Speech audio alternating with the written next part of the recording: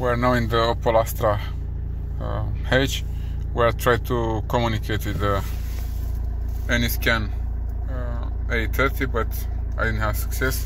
For the moment it showed me this there are in the tablet. And let's see what we will do have after this update. Maybe it would work maybe it doesn't work I don't know. But until now I didn't have success to connect with this car the reason is why I want to, to connect with the car is to see if, if can, can I receive the live, live data uh, data from uh, uh, ECU and to see each ECU number and part uh, are over there.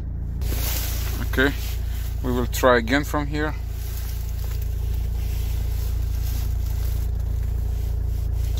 I will don't do manually because I didn't have success to uh, automatically. Sorry I will do manually uh,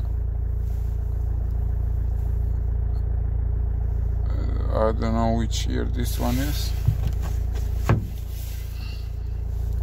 Let's try automatically. Oh do you see the car stops? What the fuck?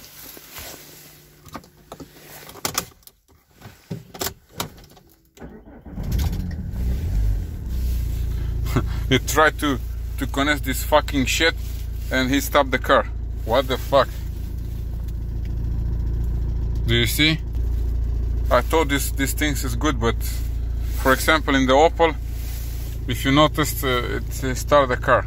Maybe because of the electrical pump, or if you try to read the um, ECU and something. But yeah, we are not uh, far to have a, a short in the ECU or to damage something here.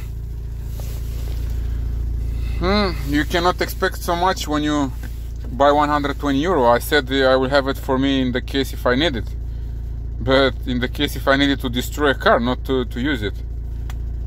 Yeah. I don't know what to tell you. I will try in the more cars and I will come uh, with the new new updates to you, okay? Yeah. Thanks for watching. Bye-bye.